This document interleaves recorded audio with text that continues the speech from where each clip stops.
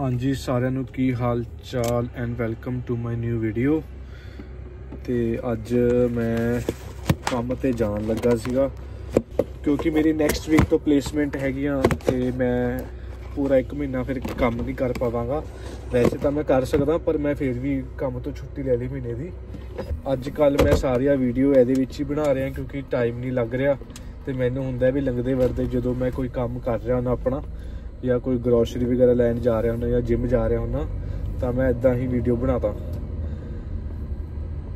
Maybe ਜਦੋਂ ਥੋੜਾ schedule ਥੋੜਾ ਈਜ਼ੀ ਹੋਏਗਾ, ਫਿਰ ਮੈਂ ਮਾੜਾ ਮੋਟਾ ਹੋਰ ਵੀ ਵਧੀਆ ਵਧੀਆ ਵੀਡੀਓਜ਼ ਬਣਾਉਣੀ ਸ਼ੁਰੂ ਕਰਦਾ। ਪਰ ਜਿੰਨਾ ਚਿਰ ਇਹ ਚੱਲੀ ਜਾ ਰਿਹਾ ਤੇ ਮੈਨੂੰ ਇਹ ਵੀ ਮੈਂ YouTube ਰੋਕਾਂ ਨਾ ਤੇ ਬਣਾਈ ਜਾਵਾਂ।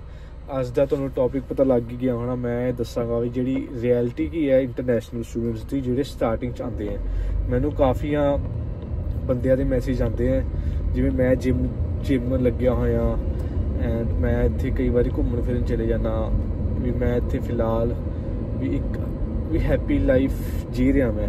ਮੈਨੂੰ ਕਾਫੀਆਂ ਦੇ ਮੈਸੇਜ ਆਉਂਦੇ ਵੀ ਬੜੀਆ ਵੀ ਵੀਰੇ ਅਸੀਂ ਉੱਥੇ ਆ ਕੇ ਜਿਮ ਲੱਗ ਜਾਾਂਗੇ। ਕੁੜੀਆਂ ਦੇ ਮੈਸੇਜ ਆਉਂਦੇ ਆ, ਸਾਡੀ ਇਹ ਹੌਬੀ ਹੈ, ਅਸੀਂ ਆ ਕਰਾਂਗੇ ਜਿਮਨਾਸਟਿਕ ਕਰਾਂਗੇ ਇਹ ਕਰਾਂਗੇ ਉਹ ਕਰਾਂਗੇ।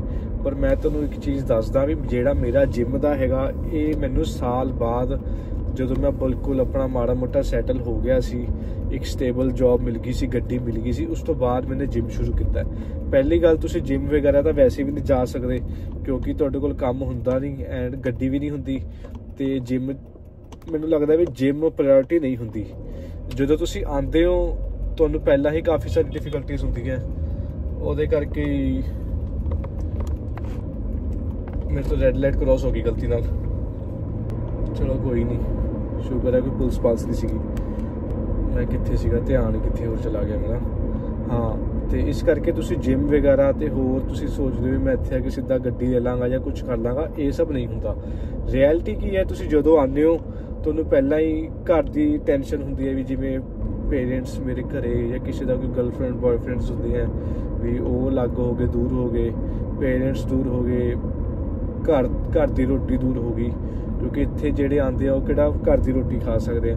ਪਹਿਲਾਂ ਤਾਂ ਇਸੀ ਚੀਜ਼ ਦੇ ਵਿੱਚ ਟਾਈਮ ਆਪਣਾ ਬਹੁਤ ਜ਼ਿਆਦਾ ਜਿਵੇਂ ਮੈਂਟਲੀ ਬੰਦਾ ਅਨਸਟੇਬਲ ਹੋ ਜਾਂਦਾ ਹੈ। ਮੈਂ ਤਾਂ ਨਹੀਂ ਹੋਇਆ ਸੀ, ਪਰ ਕਈ ਹੋ ਜਾਂਦੇ ਆ। ਕਈ ਬੰਦੇ ਕਹਿੰਦੇ ਵੀ ਸਾਨੂੰ ਡਿਪਰੈਸ਼ਨ ਹੋ ਰਿਹਾ, ਜੇ ਹੋ ਰਿਹਾ ਉਹ ਹੋ ਰਿਹਾ। ਮੇਰੇ ਨਾਲ ਤਾਂ ਇਦਾਂ ਦਾ ਕੁਝ ਨਹੀਂ ਹੋਇਆ, ਕਿਉਂਕਿ ਨਾ ਮੈਂ ਇਹਨਾਂ ਚੀਜ਼ਾਂ ਵਿੱਚ ਬਲੀਵ ਰੱਖਦਾ, ਪਰ ਕਈਆਂ ਨੂੰ ਹੋ ਜਾਂਦੇ ਆ। ਇਸ ਕਰਕੇ ਮੈਂ ਤੁਹਾਨੂੰ ਪਹਿਲਾਂ ਹੀ ਦੱਸ ਰਿਹਾ ਵੀ ਤੁਹਾਨੂੰ ਇੱਥੇ ਆ ਕੇ ਪਹਿਲੇ 6 ਮਹੀਨੇ ਦਾ ਤੁਹਾਨੂੰ ਅਜੀਬ ਜਿਹਾ ਹੀ ਲੱਗੇਗਾ ਵੀ ਮੈਂ ਕਿੱਥੇ ਪਹੁੰਚ ਗਿਆ, ਕਿੱਥੇ ਆ ਗਿਆ, ਅਲੱਗ ਦੁਨੀਆ, ਅਲੱਗ ਸ਼ਹਿਰ। ਆ ਚੀਜ਼ ਸੈਕਿੰਡ ਕੀ ਚੀਜ਼ ਹੋ ਗਈ ਸੈਕਿੰਡ ਚੀਜ਼ ਹੈਗੀ ਹੈ ਵੀ ਯੂਨੀਵਰਸਿਟੀ ਸੈਕਿੰਡ ਜਿਹੜਾ ਪੰਗਾ ਆ ਗਿਆ, ਆਪਾਂ ਨੂੰ ਯੂਨੀਵਰਸਿਟੀ ਦਾ ਬੜਾ ਵੱਡਾ ਪੰਗਾ ਪੈਂਦਾ ਹੈ, ਕਿਉਂਕਿ ਯੂਨੀਵਰਸਿਟੀ ਦੀ ਜਿਹੜੀ ਅਸਾਈਨਮੈਂਟਸ ਹੁੰਦੀਆਂ ਉਹ ਬਣਾਉਣੀਆਂ ਥੋੜੀ ਮੁਸ਼ਕਿਲ ਲੱਗ ਸਕਦੀ ਹੈ ਸ਼ੁਰੂ ਸ਼ੁਰੂ ਦੇ ਵਿੱਚ, ਕਿਉਂਕਿ ਇੰਡੀਆ ਐਂਡ ਇੱਥੇ ਦਾ ਹਿਸਾਬ ਕਿਤਾਬ ਬਿਲਕੁਲ ਵੱਖਰਾ ਹੈ। ਪਿਛਲੀ ਵੀਡੀਓ 'ਚ ਮੈਂ ਤੁਹਾਨੂੰ ਦੱਸਤਾ ਦਿੱਤਾ ਵੀ ਸਿਰਫ ਆਪਾਂ ਨੂੰ MS Word and MS PowerPoint ਚਾਹੀਦਾ ਹੈ, ਜਾਂ Google Docs ਚਾਹੀਦੇ ਆ ਪਰ ਇਕੱਲਾ ਇਹਦੇ ਨਾਲ ਹੀ ਕੰਮ ਨਹੀਂ ਸਰ ਜਾਂਦਾ। ਵੀ ਹੋਰ ਵੀ ਕਾਫੀ ਚੀਜ਼ਾਂ ਮਤਲਬ ਇੰਪੋਰਟੈਂਟ ਹੁੰਦੀਆਂ ਜਿਹੜੀ ਕਿ ਕੁਐਸਚਨਸ ਦਾ ਆਨਸਰ ਕਰਨੇ ਕਲਾਸ ਅਟੈਂਡ ਕਰਨੀਆਂ, ਉਹ ਕਾਫੀ ਸਟ੍ਰੈਸਫੁਲ ਲੱਗ ਸਕਦਾ ਆਪਾਂ ਨੂੰ। ਮੈਕਡੋਨਲਡ ਪਹੁੰਚ ਗਿਆ ਪਹਿਲਾਂ ਕੁਝ ਖਾਣ ਪੀਣ ਲਈ ਮੰਗਾ ਲਈਏ How can I get you today? Hi, can I get one chicken and cheese Yes, anything else? and one uh, regular ice latte? Medium and latte? or Medium, coconut medium, milk? medium. Yep. And can you please add like uh, extra hazelnut flavor, please? Like last time, it was not that much. Anything else? Yeah, that's it. Thank you. Also, driving please. ਪਿਛਲੀ ਵਾਰੀ ਮੈਂ ਇਹਨਾਂ ਨੂੰ flavour ਕਰਵਾਇਆ ਸੀਗਾ ਉਹ ਚੰਗੀ ਤਰ੍ਹਾਂ ਪਾਇਆ ਹੀ ਨਹੀਂ ਇਹਨਾਂ ਨੇ ਤੇ ਇਸ ਵਾਰੀ ਐਕਸਟਰਾ ਕਰਵਾਇਆ। ਮੈਂ ਦੇਖੋ ਪਰਸ ਦੇ ਦਾਂਗਾ ਆਪਣਾ। ਤੇ ਸਾਹਮਣੇ ਮਸਟੈਂਗ ਖੜੀ ਹੋਈ ਹੈ, ਬੜੀ ਘੈਂਟ ਲੱਗ ਰਹੀ ਹੈ ਗੱਡੀ, ਕੋਈ ਨਹੀਂ, ਆਪਾਂ ਵੀ ਇਦਾਂ ਦੀ ਗੱਡੀ ਲਵਾਂਗੇ ਫਿਊਚਰ ਦੇ ਵਿੱਚ। ਮਾੜੇ ਮੋਟੇ ਹੋਰ ਸੈਟਲ ਹੋ ਜਾਈਏ। ਤੇ ਸੈਕਿੰਡ ਆਪਣਾ ਯੂਨੀਵਰਸਿਟੀ ਦਾ ਬੜਾ ਚੱਕਰ ਪੈ ਜਾਂਦਾ, ਪਹਿਲਾਂ ਸਮਝ ਨਹੀਂ ਆਉਂਦਾ ਵੀ ਕਿਵੇਂ ਕਰਨਾ ਹੈ, ਕਿਵੇਂ ਨਹੀਂ ਕਰਨਾ। ਉਹ ਬਹੁਤ ਜ਼ਿਆਦਾ ਡਿਫਿਕਲਟ ਹੁੰਦਾ ਯੂਨੀਵਰਸਿਟੀ ਦਾ ਮੇਨ ਕਿਉਂਕਿ ਫੇਲ ਹੋਣਾ ਕੋਈ ਅਫੋਰਡ ਨਹੀਂ ਕਰ ਸਕਦਾ। ਪੈਸਿਆਂ ਪਿੱਛੋਂ ਵੀ ਤੇ ਪੀਆਰ ਪਿੱਛੋਂ ਵੀ। ਜੌਬ ਨਹੀਂ ਮਿਲਦੀ ਇੱਥੇ ਆ ਕੇ ਲੋਕਾਂ ਨੂੰ ਕੁਝ ਲੋਕੀ ਚੰਗੀ ਤਰ੍ਹਾਂ ਟਰਾਈ ਵੀ ਨਹੀਂ ਕਰਦੇ. ਯਪ ਯਪ. ਇੱਥੇ ਕੰਮ ਬੜਾ ਮਾੜਾ ਹੈ। ਇੱਥੇ ਮਿੰਟ ਮਿੰਟ ਲਾਉਂਦੇ ਆ ਵੀ ਕਹਿੰਦੇ ਤੁਸੀਂ ਵੇਟਿੰਗ ਏਰੀਆ ਚਲੇ ਜਾਓ। ਇੱਕ ਤਾਂ ਹੁੰਦਾ ਵੀ ਸ਼ੀਸ਼ੇ ਵਾਲੀ ਜਗ੍ਹਾ ਖੜ ਜਾਓ ਸੌਖਾ ਰਹਿੰਦਾ। ਇੱਕ ਵੇਟਿੰਗ ਏਰੀਆ ਖੜਨਾ ਬੜਾ ਔਖਾ ਲੱਗਦਾ ਮੈਨੂੰ ਵੀ। ਇੱਕ ਡਰਿੰਕ ਦੇਣੀ ਹੈ ਤੁਸੀਂ ਦੇ ਦਿਓ। ਹੁਣ ਵੇਟਿੰਗ ਏਰੀਆ ਕਿੱਥੇ ਹੈ? ਚੌਥਾ ਚੱਕਰ ਹੋ ਗਿਆ ਆਪਾਂ ਨੂੰ ਰੋਟੀ ਦਾ। ਚਲੋ ਮੈਂ ਤਾਂ ਜਿਵੇਂ ਘਰ ਰਹਿ ਰਿਹਾ, ਮੇਰੀ ਗੱਲ ਹੋਰ ਹੈ ਪਰ ਕਈ ਬੰਦੇ ਰੋਟੀ ਨਹੀਂ ਚੰਗੀ ਤਰ੍ਹਾਂ ਬਣਾ ਪਾਉਂਦੇ ਕਿਉਂਕਿ ਟਾਈਮ ਨਹੀਂ ਹੁੰਦਾ, ਕੰਮ, ਪਹਿਲਾਂ ਕੰਮ ਨਹੀਂ ਹੁੰਦਾ।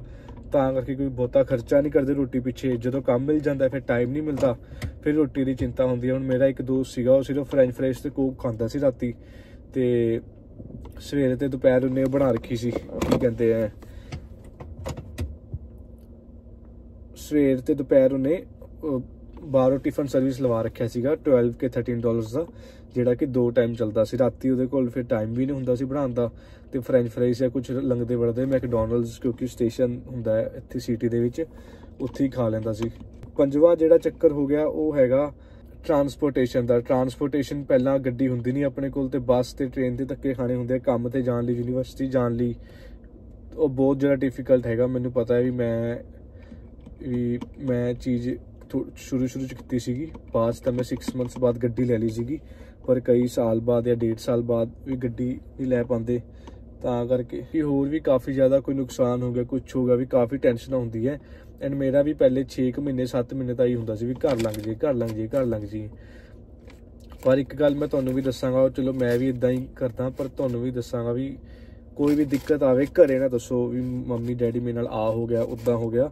ਕਿਉਂਕਿ ਉਹ ਵੀ ਉੱਥੇ ਬੈਠੇ ਕੁਝ ਨਹੀਂ ਕਰ ਸਕਦੇ। ਐਟ ਦਾ ਐਂਡ ਉਹਨਾਂ ਨੇ ਉਦਾਸ ਹੋ ਕੇ ਇਹੀ ਕਹਿਣਾ ਵੀ ਬੇਟਾ ਤੂੰ ਵਾਪਸ ਘਰ ਆ ਜਾ ਤੇ ਕੋਈ ਗੱਲ ਨਹੀਂ ਵੀ ਅਸੀਂ ਇੰਨੀ ਟੈਨਸ਼ਨ ਨਹੀਂ ਲੈ ਸਕਦੇ ਤੇਰੀ ਵੀ ਤੂੰ ਦੂਜੇ ਮੁਲਕ ਇਕੱਲੇ ਬੈਠਾ ਹੈ, ਵੀ ਇਕੱਲਾ ਬੈਠਾ ਹੈ। ਇਸ ਕਰਕੇ ਐਟ ਦਾ ਐਂਡ ਵੀ ਇਸੀ ਹਾਰਸ਼ ਰਿਐਲਿਟੀ ਹੈਗੀ ਤੁਸੀਂ ਪਹਿਲਾਂ ਹੀ ਪ੍ਰਿਪੇਅਰ ਹੋ ਕੇ ਆਇਓ। ਬਸ ਘਰਦਿਆਂ ਨੂੰ ਨਾ ਦੱਸਿਓ ਤੇ ਬੀ ਪੋਜ਼ਿਟਿਵ ਤੇ ਚੰਗੀ ਤਰ੍ਹਾਂ ਆਪਣਾ ਔਖਾ ਸੌਖਾ 6 ਮਹੀਨੇ ਸਾਲ ਕੱਟ ਲਓ, ਫਿਰ ਤੁਸੀਂ ਰਿਗਰੈਟ ਨਹੀਂ ਕਰੋਗੇ, ਫਿਰ ਤੁਸੀਂ ਕਹੋਗੇ ਵੀ ਹਾਂ ਵੀ ਮੈਂ ਸਹੀ ਡਿਸੀਜਨ ਲਿਆ ਹੁਣ ਮੈਂ ਕਾਫੀ ਦੀ ਵੇਟ ਕਰਾਂ, ਪਤਾ ਨਹੀਂ ਕਦੋਂ ਦੇਗੀ ਕਾਫੀ ਕਾਫੀ ਆ ਗਈ ਆਪਣੀ ਐਂਡ ਹੁਣ ਮੈਂ ਲੇਟ ਹੋ ਰਿਹਾ ਕੰਮ ਤੇ। ਤੇ ਆਹੀ ਚੀਜ਼ਾਂ ਦਾ ਤੁਸੀਂ ਧਿਆਨ ਰੱਖਿਓ 버ਗਰ ਸ਼ਰਗਰ ਖਾਈਏ ਆਪਾਂ। ਤੇ ਸਟੇ ਸਟਰੋਂਗ ਸਟੇ ਫਿਟ ਤੁਸੀਂ ਮੈਨੂੰ ਇੰਸਟਾ ਤੇ ਫੋਲੋ ਕਰੋ, ਤਾਂ ਕਿ ਕੋਈ ਵੀ ਤੁਹਾਨੂੰ ਹੈਲਪ ਚਾਹੀਦੀ ਹੋਵੇ, ਮੈਂ ਤੁਹਾਡੀ ਹੈਲਪ ਕਰਾਂਗਾ। ਫੋਨ ਤੇ ਕੰਸਲਟੇਸ਼ਨ ਕੰਸਲਟੇਸ਼ਨ ਤਾਂ ਕੀ ਹੈ? ਫੋਨ ਤੇ ਵੈਸੇ ਕੋਈ ਮਾੜੀ ਮੁੱਟੀ ਸਲਾਹ ਵਗੈਰਾ ਚਾਹੀਦੀ ਹੋਵੇ, ਉਹ ਵੀ ਮੈਂ ਕਰਾਂਗਾ। ਪਰ ਤੁਸੀਂ ਮੈਨੂੰ ਇੰਸਟਾਗ੍ਰam ਤੇ ਫੋਲੋ ਕਰਨਾ ਨਾ ਭੁੱਲਿਓ ਐਂਡ ਚੈਨਲ ਨੂੰ ਸਬਸਕ੍ਰਾਈਬ ਜ਼ਰੂਰ ਕਰ ਲਿਓ। Tata bye bye take care stay strong stay fit